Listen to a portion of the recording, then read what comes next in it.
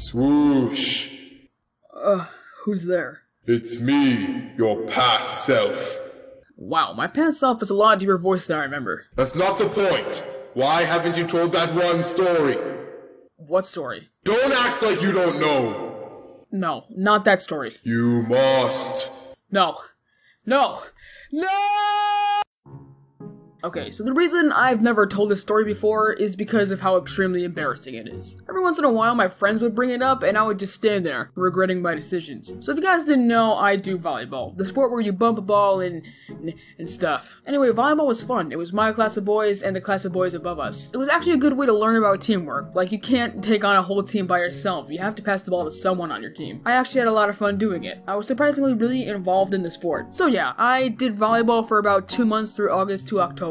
I would have to go to practice usually after school, which took about two hours. If you've been subscribed for that long, you might have realized I didn't upload a lot during that time. Now, I don't have a lot of wacky stories from volleyball, but there is this one story. One story that if I wrote it down, I would rip it out of that princess diary and throw it in the fire and laugh maniacally as I see the flames.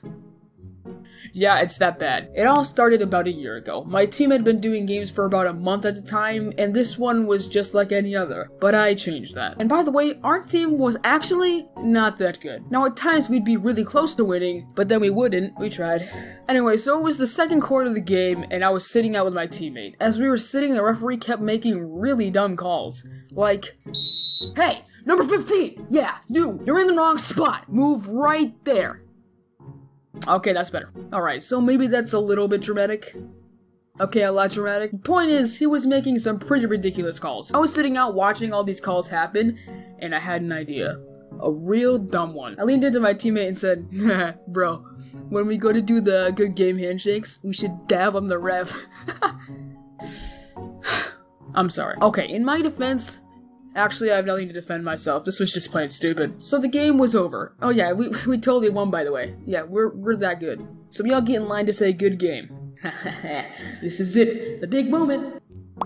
Bro, are you sure about this? This seems pretty stupid. Dude, of course he's sure about this. This is an amazing idea. No, it isn't. It's stupid, and you'll most likely get in trouble. Bro, you never take risks. Remember that one time he ran down the hill when he was five? Yeah, I remember he fell and got a huge scar. Yeah, but it was awesome. You're an idiot. Wait, who is that? Dude, that's the coach. Just do it, man. Alright, alright, fine.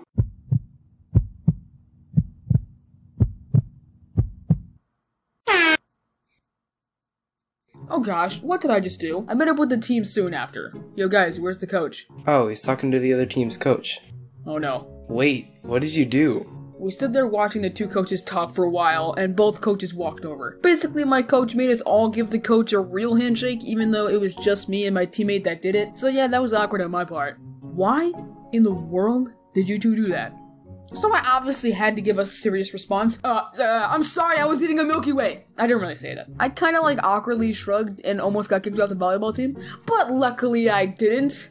That'd be bad. So yeah, please don't do what I did. Honestly, it was really stupid it's probably one of my biggest regrets. And every time one of my friend brings it up, I want to slam my head on a table. And now I made a video about it. Wonderful. Oh, buddy boy, our life story video. Hey everyone, sorry I've been on a small hiatus recently. I took a short break in August, and since volleyball season started up this September, I've practically had zero time to work on videos. But luckily, by the end of this month, volleyball season will be over, so that will give me more time to work on videos. So that's good. Once again, don't do what I did last year. It was pretty immature on my part, and I still get reminded of what happened when I see that coach. Anyway, fam squad, I just want to say thanks to Tempo Tantrum for doing some lines. Follow me on Twitter, follow me on Instagram, boost me on Facebook, brothers, and keep I love you.